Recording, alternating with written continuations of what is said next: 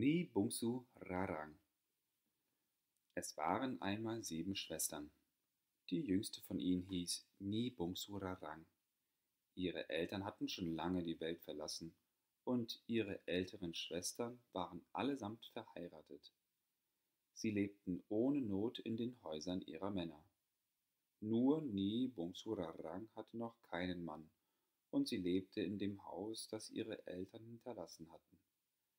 Das Haus war schon recht morsch, die altersschwachen Wände klafften und die Pfosten stützten fast zusammen. Sein Dach war undicht und des Nachts, wenn sie auf ihrem Bett lag, konnte Nie Bungsu Rarang die Sterne am schwarzen Himmel blinzeln sehen. Nie Bungsus Rarang Leben war wirklich armselig. Ihr größtes Glück war es, wenn sie einmal am Tage ein einfaches Essen bekam. Es gab weder Fisch noch Fleisch dazu. Sie hatte gerade immer nur das Salz und ein paar junge Blätter, die sie im Wald sammelte. Obwohl Nie Bungsu-Rarangs Leben so mühselig war, scheuten sich ihre sechs älteren Schwestern nicht, ihr ihren Lebensunterhalt wegzunehmen. Manchmal erhielt Nibongsurarang einen geringen Lohn als Entgelt für ihre Arbeit, wenn sie den Tag über Reis gestampft das Geschirr gereinigt, Setzlinge gepflanzt oder Feuerholz gespalten hatte. Noch ehe sich Nibungsurarang aber an ihrem Verdienst freuen konnte, kam eine ihrer sechs Schwestern und überredete sie, ihren Lohn zu teilen. Nibungsurarang war ein gutherziges Wesen und leicht zu überreden, und mit der Zeit kamen ihre Schwestern immer häufiger. Und wenn Nibungsurarang sich einmal weigerte, ihren Lohn zu teilen, weil sie an diesem Tage noch nichts gegessen hatte, scheuten ihre Schwestern sich nicht, sie zu bedrängen und ihr sogar zu drohen. Nibungsurarang konnte nichts anderes tun, als ihnen den Lohn ihrer Tagesarbeit zu geben.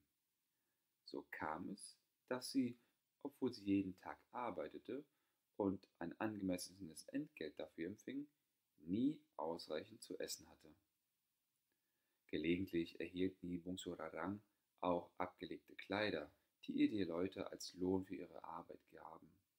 Doch bevor sie sie anziehen konnte, kam eine ihrer Schwestern und bat darum. Daher konnte Nibungsurarang auch nie ihre Kleider wechseln, so dass sie wegen ihres Alters zerfetzt und verschlissen waren. Jeden Abend, wenn sie von der Arbeit bei anderen Leuten zurückkam, stopfte und flickte sie ihre Kleider, die schon so voller Nähte und Flicken waren, dass ihre ursprüngliche Farbe nicht mehr zu sehen war.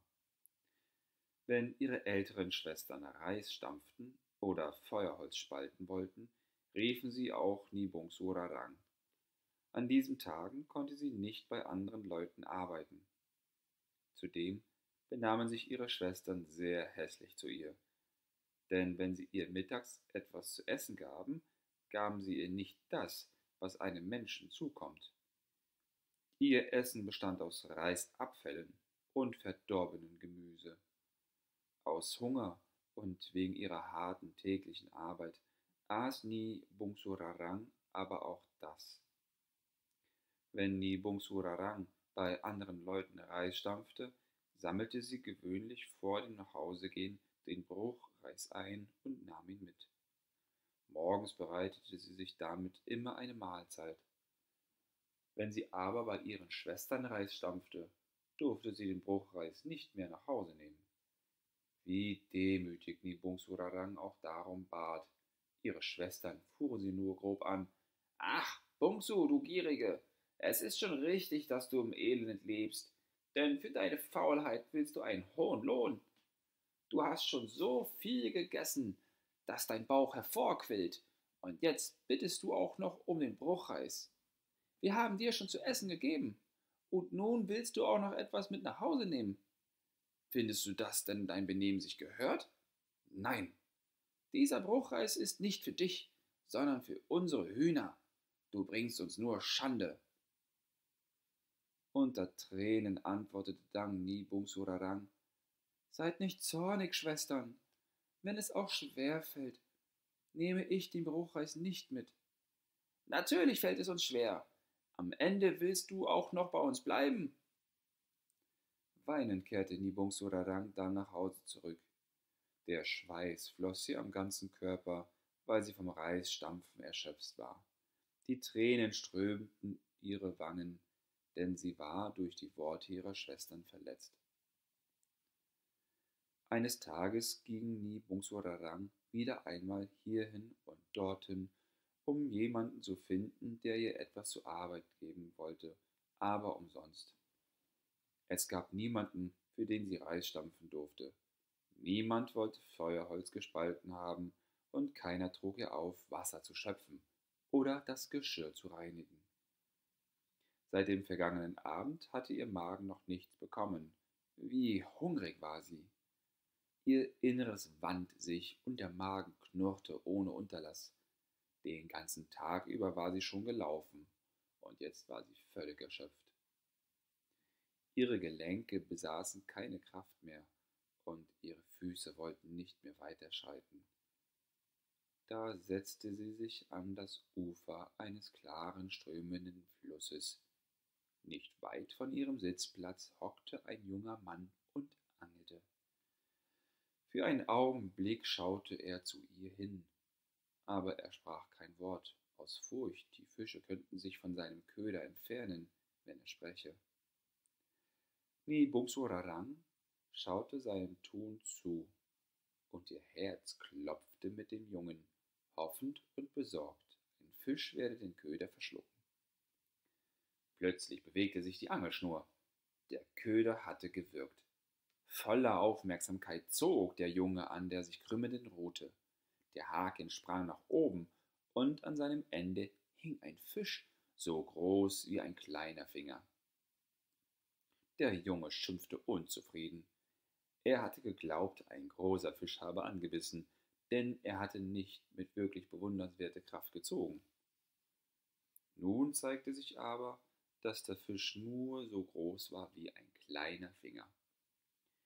Ärgerlich wollte er den Fisch tottrampeln. Als Nibungsurarang das sah, rief sie, Nein, töte den Fisch nicht. Gib ihn mir, bitte. Erstaunt schaute der Junge auf Nibungsurarang und überlegte. Wofür soll ich einen so kleinen Fisch mitnehmen? Er hat ja nicht einmal genug Fleisch zum Essen. Es ist bestimmt gut, ich gebe ihn dieser armen Frau. Dann reichte er den Fisch Nibungsurarang und sagte, Nimm ihn. Nibungsurarang nahm den Fisch mit freudigem Herzen. Sie pflückte ein Blatt ab und machte daraus eine Schale füllte sie mit Wasser und legte den kleinen, fingergroßen Fisch hinein. Goldfisch, sprach sie leise, nachdem sie ihn genau betrachtet hatte. Nibungsurarang freute sich sehr, dass er den Goldfisch bekommen hatte und vergaß darüber sogar ihren Hunger. Sogleich kehrte sie nach Hause zurück und setzte dort den Fisch in eine Kokosschale, die sie zuvor mit Wasser gefüllt hatte. Dann suchte sie nach Überresten von Bruchreis und streute sie auf die Wasseroberfläche in der Schale. Anfänglich wagte der Fisch nicht, sich an der Oberfläche zu zeigen. Doch als er sich dann sicher fühlte, aß er den Bruchreis, der in der ganzen Schale verstreut war. Nibungsurarang stellte die Schale neben ihre Bettstelle, und wenn sie aufbrechen wollte, um Arbeit zu suchen, streute sie zuvor immer Bruchreis auf das Wasser. Auch wenn sie von der Arbeit zurückkam, galt ihr erste Aufmerksamkeit dem Fisch.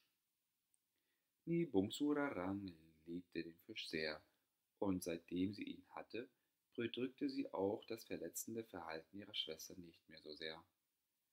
Sie hatte Unterhaltung, wenn sie mit dem Goldfisch spielte. In ihrer Zuneigung gab sie dem Fisch auch einen Namen. Loing Li Tag zu Tag wurde der Fisch größer, und als er schon zwei Finger lang war, setzte Nibung Surarang Leuling in den Teich hinter ihrem Haus. Der Teig war nicht klein und sein Wasser war sauber. Leoling schwamm zufrieden herum. Er war jetzt sehr zahm und kannte die Stimme seiner Herrin genau. Jeden Tag, bevor Nibungsurarang arbeiten ging, kochte sie einen Brei, den sie an den Rand des Teiches brachte. Dann setzte sie sich auf einen Stein am Ufer und rief singend nach Leoling. Ihre Stimme war zart und sanft. Leoling, Leoling, hier ist feiner Reisbrei, gestampft in einer Wanne, geworfelt in gelben Schale und gereicht auf einer Platte. Wenn Leoling die Stimme seiner Herrin hörte, tauchte er zur Oberfläche auf. Seine Flossen bewegten sich hin und her, und er schwamm zu den Füßen seiner Herrin, die bis zu den Knöcheln eingetaucht im Wasser baumelten. Niobungsurarang freute sich sehr, wenn sie spürte, wie Lioling ihren Fußsohlen und ihre Zehen küsste. Beglückt lachte sie auf und gab Lioling den Brei. Wenn kein Brei mehr da war, kehrte Lioling zur Mitte des Teiches zurück und verschwand aus ihrem Blick. Nun stand Niobongsurarang auf und ging wieder ins Haus. Dies machten sie jeden Tag. Allmählich wurde Leoling immer größer, und war er vor einiger Zeit nur so groß wie zwei Finger gewesen, hatte er jetzt die Größe einer ganzen Hand. Aber er wuchs immer noch. Schließlich war er so groß wie ein Säugling, und seine Flossen waren so lang wie ein Schal, der durch das Wasser wehte und es durchschneidet. Die Flossen glänzten dabei wie Goldstücke. Je größer er war, umso vertrauter wurde er, und Ibungsurarang lebte ihn immer mehr. Mit der Zeit erhielten auch Nibungsorarangs ältere Schwestern davon Kenntnis, dass ihre jüngere Schwester einen zahmen und außergewöhnlich großen Goldfisch besaß. Ihre Habgier regte sich, und die Älteste begab sich zu Niobungsurarang. Schwester, sagte sie mit süßer Stimme, ist wirklich ein Fisch in deinem Teich hinter deinem Haus? Niebungsurarang konnte nicht lügen und bejahte es. Darf ich ihn einmal sehen? fragte die Schwester jetzt weiter. Niebungsurarang war herzensgut und hegte anderen Menschen gegenüber keinen Argwohn.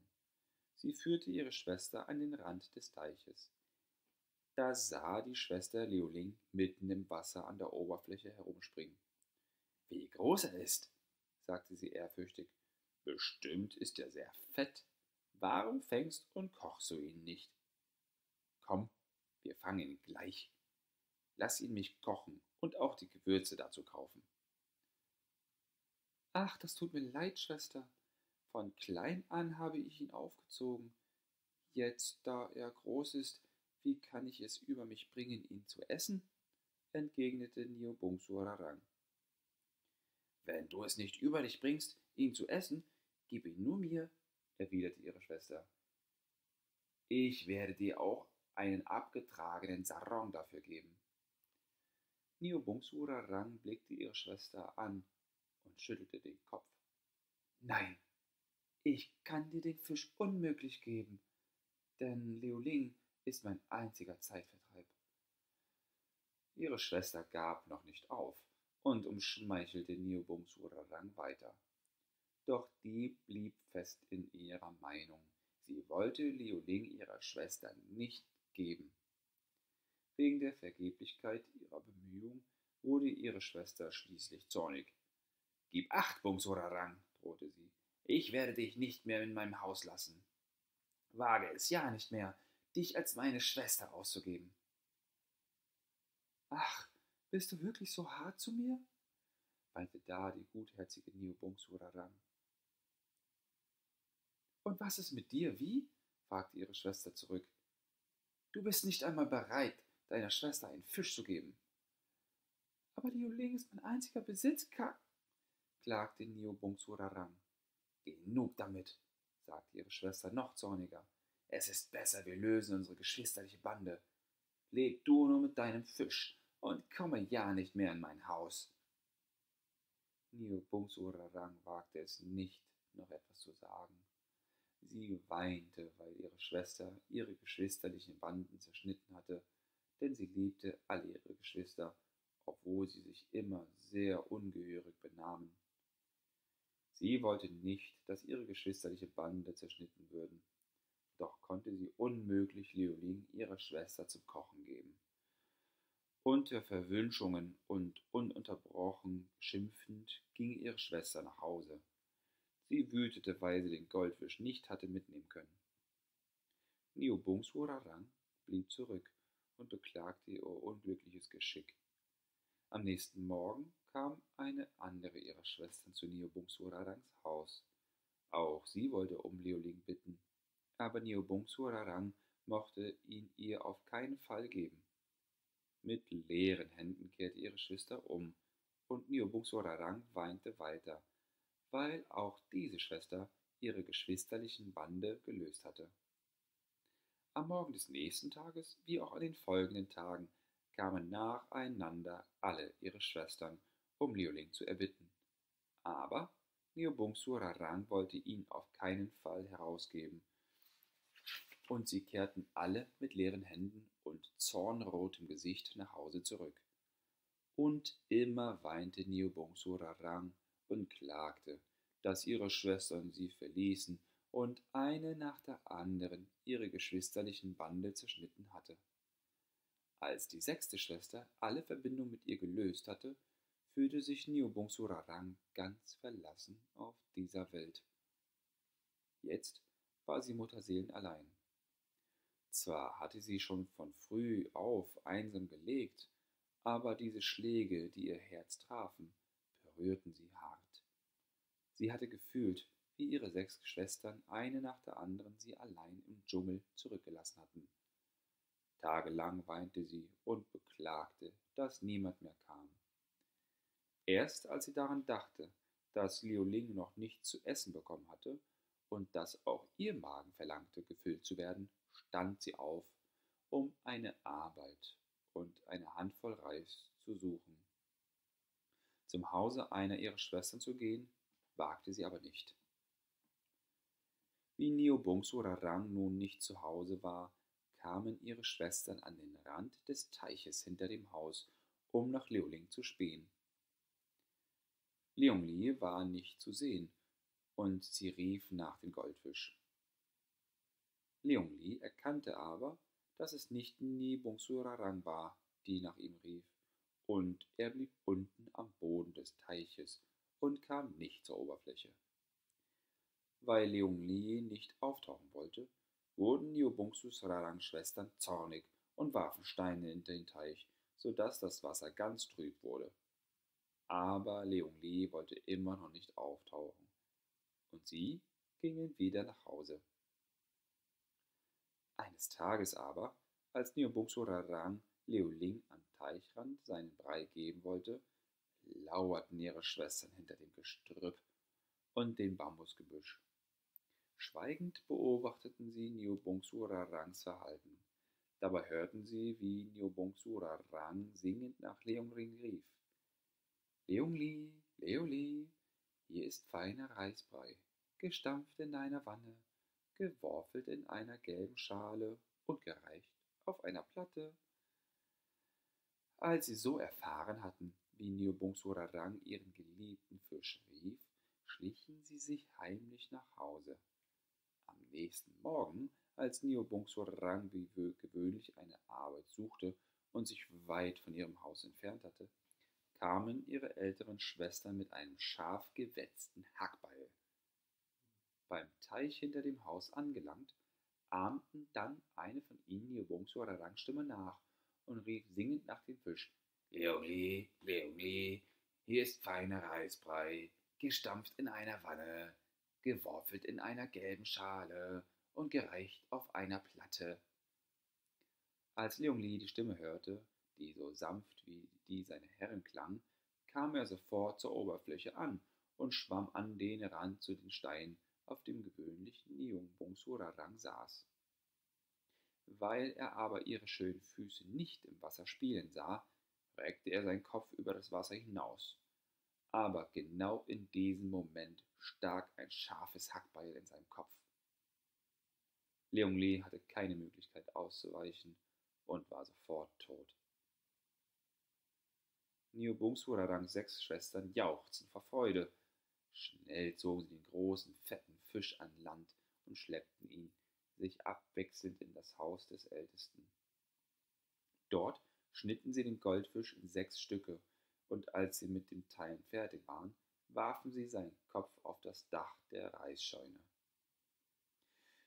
Neobungsurarang kehrte wie gewöhnlich am Nachmittag nach Hause zurück, und nachdem sie den Brei gekocht hatte, ging sie an den Rand des Teiches, um Leongli Essen zu geben.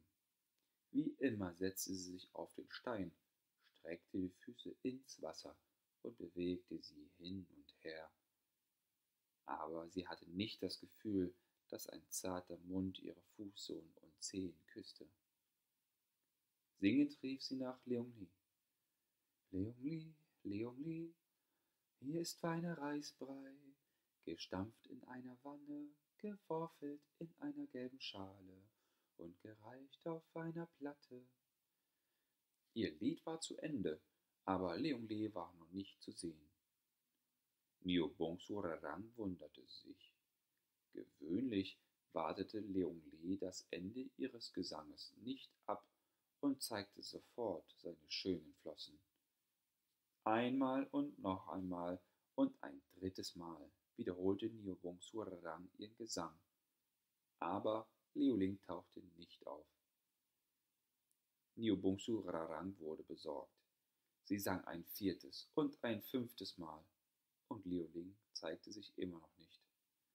Es musste sich etwas Ungewöhnliches ereignet haben. Ihre Gedanken arbeiteten, sie befürchtete, Leon Li sei von Leuten geraubt worden. Genau betrachtete sie den Teich.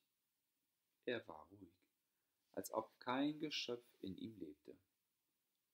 Niobungsuraram blickte nach rechts und nach links zu dem Gestrüpp hin, das sie dort ausbreitete. Nichts war verändert. Schließlich schaute sie sich an der Stelle, auf der sie saß, um. Da entdeckte sie hier und dort Blutstropfen und Schuppen. Es gab keinen Zweifel mehr. Dieses Blut und die Schuppen stammten gewiss von Leongli. Vom Stein aus sah sie dann die Spur, auf der Leoling weggeschleift worden war. Sorgfältig folgte sie ihr. Ihre Brust war wie eingeschnürt, sie konnte die Tränen nicht mehr zurückhalten. Ununterbrochen beklagte und beweinte sie Leongli. Gebückt folgte sie der Spur der Schuppen, und auf dem ganzen Weg flossen ihre Tränen. Schließlich gelangte sie vor das Tor des Anwesens ihrer ältesten Schwester. Nun gab es keinen Zweifel mehr. Ihre Geschwistern waren es, die Leong Li gefangen und hierher geschleppt hatten. Sie dachte an den Vorfall vor einigen Tagen, als ihre Schwestern sie um Leong Li gebeten und sie ihn nicht herausgegeben hatte. Ihre Schwestern öffentlich anzuklagen, Leong Li geraubt zu haben, wagte Niobongsurarang nicht. Sie wollte nicht, dass ihre Schwestern ihr zürnten. So grüßte sie höflich und bat um Einlass. Als ihre Schwestern ihr die Erlaubnis gegeben hatten, trat Niobongsurarang ein. Sie fand die Schwester auf der mittleren Veranda sitzend. Sanft fragte Niobongsurarang, Kakak, ich will dich nicht beschuldigen, ich will nur fragen, ob du vielleicht weißt, wer Liu Ling gefangen hatte. Bongsu, schrie da ihre Schwester scharf, warum schmähst du mich in solcher Weise? Beschuldigst du mich, gestohlen zu haben? Wer wird glauben, dass ich einen Fisch gestohlen habe? Ich bin reich, nicht so arm wie du. Was soll ich mit einem Fisch? Ich habe genug Geld. Ich kann mir täglich hundert Fische wie diesen kaufen. Ich habe es nicht nötig, deinen Besitz zu rauben, den Besitz einer Armen. Schwester, werd nicht zornig, sagte jetzt Mibungsurarang schüchtern.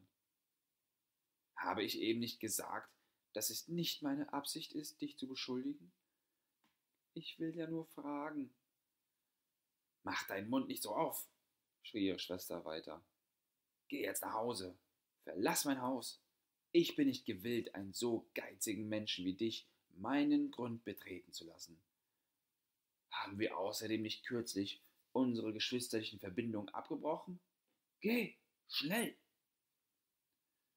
Als Neobungsurarang diese ungeheuerlichen Beschimpfungen von ihrer Schwester vernahm, stand sie auf. Ihre Tränen flossen immer stärker. Sie wollte davongehen. Doch als sie den Hof kam, hörte sie ein Huhn laut gackern. Kotak, donklack, kotak, kotak, donklack. Der Kopf von Liu Ling liegt auf dem Dach der Reisscheune. Als Niobong Surarang das Gegackern des seltsamen Huhnes hörte, war sie wie betäubt und machte keinen Schritt mehr. Aufmerksam verfolgte sie das Gackern, das nicht enden wollte. Wie nun ihre Schwester Niobungsurarang schweigend dastehen und dem Gacken der Henne lauschen sah, stieg ihr Zorn empor. Sie nahm einen Stein und schrie Freches Huhn, kümmere dich um dich selbst. Du sollst mich nicht in Verlegenheit bringen, du verfluchtes Tier. Dann stieg sie auf das Dach der Reisscheune, nahm Leolings Kopf und legte ihn zwischen die Pfähle unter dem Haus. Doch sogleich gackerte das Huhn wieder und teilte Niubungsurarang mit Kotak, Kotak, Donklack, Kotak, Donklack. Der Kopf von Leoling liegt zwischen den Pfählen unter dem Haus. Als Nibungsurarangs Schwester das Gackern des Huhns wieder hörte, nahm sie schnell den Kopf dort weg, trug ihn in die Küche und legte ihn in einen Krug. Aber die Henne war wieder zu hören. Kotak, Donklack, Kotak, Donklack. Der Kopf von Leoling liegt unter im Krug. Die Schwester hatte sich vergebens bemüht. Voller Zorn hörte sie die freche Henne. Da nahm sie ein Hackbeil und warf nach ihr. Sie traf genau den Kopf und die Henne starb sofort. Freches Huhn, verfluchtes, verrecke, schrie die Schwester. Dann nahm sie Leolings Kopf aus dem Krug und warf ihn in den Hof vor Niobungsurarang, die noch immer dastand und das Verhalten ihrer Schwester beobachtete. Hier, nimm den Fischkopf da, wenn du meinst, du seist zu kurz gekommen. Ich esse nicht gerne Fischköpfe. Als Nibungsurarang den Kopf von Leongli, ihrem geliebten Goldfisch, sah, jammerte und klagte sie. Dann hob sie ihn sorgfältig auf und trug ihn liebevoll nach Hause. In ihrer unendlichen Trauer und in ihrem Gram beklagte sie, ohne einmal aufzuhören, Leoling während des ganzen Weges. Zu Hause angekommen, reinigte sie sorgfältig den Kopf des Goldfischs. Dann wickelte sie ihn in eine Spanne weißen Tuchs, gab ihm eine Pandanusblüte dazu und begrub ihn sorgfältig unter ihrer Bettstatt. Sie bestattete ihn dort, weil sie befürchtete, jemand könnte Leonlings Grab verletzen. Einige Wochen waren vergangen. Niobungsurarangs Trauer begann ruhiger zu werden. Dann und wann dachte sie an ihn, Liu Ling, ihren geliebten Fisch, und dann flossen ihre Tränen, weil die Trauer ihr Herz bewegte. In Erinnerung an den traurigen Tod Liu Lings war sie noch immer bekümmert. Einmal wöchentlich reinigte sie das Grab von Liolings Kopf unter ihrer Bettstatt und breitete Blumen darauf aus. Monate waren vergangen, als auf einmal aus dem Grab eine glitzernde Pflanze wuchs. Anfänglich hielt Niobongsurarang die Pflanze für ein Unkraut, das das Grab zerstören könnte, und wollte sie herausreißen. Dann aber hatte sie Mitleid und ließ die Pflanze wachsen. Sie entwickelte sich schnell. Ihre Blätter waren schön und unterschieden sich von allen anderen Blättern, denen man auf der Welt begegnet. Sie glitzerten und funkelten wie Edelsteine. Auch der Stamm sah aus, als sei er ganz aus Silber. Schließlich wuchs aus den Zweigen eine runde Frucht heraus. Sie strahlte und funkelte. Es war ein Diamant. Niobungsurarang freute sich sehr am Anblick dieses wundersamen Baums. Ihn abzupflücken brachte sie nicht übers Herz. Sie gedachte Leonlings, wenn abends vor dem Einschlafen die Blätter und ungewöhnlichen Früchte vom Wind sachte gestreift wurden und ein zart tönendes Geräusch hervorbrachten. Eines Nachts aber machte der Vorsteher des Gebiets, in dem auch Neobungsura-Rang lebte, einen Rundgang durch die Dörfer. Als er nahe bei dem Haus von Neobungsura-Rang mit den vermoderten und durchlöcherten Wänden vorbeikam, blieb er stehen, weil er ein sanft klingendes und höchst freundliches Geräusch vernahm. Er hörte aufmerksam hin und stellte fest, dass dieses Geräusch aus einem Haus kam. Weil es ihn befremdete, ging der Gebietsvorsteher hinüber, um in die Hütte zu spähen. Wie er erschrak! Was er sah, war ein höchst wundersamer Baum, der unter der Bettstatt eines armen, abgemagerten Mädchens wuchs. Er fragte seine Begleiter, ob sie das Mädchen kannten. Dieses Mädchen ist ein Waisenkind. Es heißt Nebung Surarang, antwortete einer von ihnen. Sie lebt in Armut und Not. Aber unter ihrer Bettstatt wächst ein wundersamer Baum, dessen Wert wahrscheinlich höher ist als der eines Königreichs, murmelte der Gebietsvorsteher. Wie ist das möglich? bemerkte da ein anderer, aber aus seiner Stimme war nicht zu hören, ob er die Worte seines Herrn anzweifeln wollte. Der Begietsvorsteher sprach nicht mehr viel, sondern berichtete gleich am nächsten Morgen sein ungewöhnliches Erlebnis dem Herrscher. Als der Herrscher den Bericht des Gebietsvorstehers vernommen hatte, wurde er neugierig und befahl Bitte, bringe das Mädchen mitsamt dem wundersamen Baum vor mich. Am darauffolgenden Morgen brachte man Niobongsurarang vor den Herrscher. Der Herrscher fragte sie sogleich nach allem, und Niobongsurarang antwortete ihm es sich gehört, und ihre Tränen hörten in der Erinnerung an all ihre Erlebnisse nicht aufzufließen. Während der Herrscher den traurigen Bericht hörte und das unglückliche Schicksal dieses anmutigen Mädchens vernahm, fühlte er, wie er sich in sie verliebte. Ja, aus Ergriffenheit kamen auch ihm die Tränen, und wie Nibung Surarang von ihren Leiden berichtete, prüfte er das elternlose Mädchen genau. Je länger, je mehr wurde er von der Unglücklichen angezogen. Als Nibung Surarang dann von der Niedertracht ihrer sechs Schwestern berichtete, wurde der Herrscher ebenfalls sehr böse und zornig. Und als Nibungswararang dann mit ihrer Erzählung fertig war, fasste der Herrscher den Entschluss, sie zu bitten, in seinem Palast zu bleiben, als seine Gemahlin. Als Nibungswararang diese Bitte vernahm, fing sie an zu stottern und konnte fast nicht mehr sprechen. Aber nicht, weil sie den Antrag nicht annehmen wollte. Einige Wochen später schloss der Herrscher Nibungswararang das ehemals elende und arme und bedrängte Mädchen im Palast die Ehe. Auch nachdem Nibungswararang die Gemahlin des Herrschers geworden war, erinnerte sie sich ihrer sechs Schwestern. Und obwohl sie noch genau an ihre frühere Niedertracht dachte, wollte sie es ihnen nicht vergelten, denn sie war ein gutherziger Mensch. Ja, sie gab ihnen sogar Geschenke von unsagbarer Größe. Da bereuten die Schwestern und versprachen, von ihrer Habgier und Niedertracht gegenüber ihren Mitmenschen zu lassen. Seitdem lebten die sieben Geschwistern einmütig in Ruhe und Wohlstand.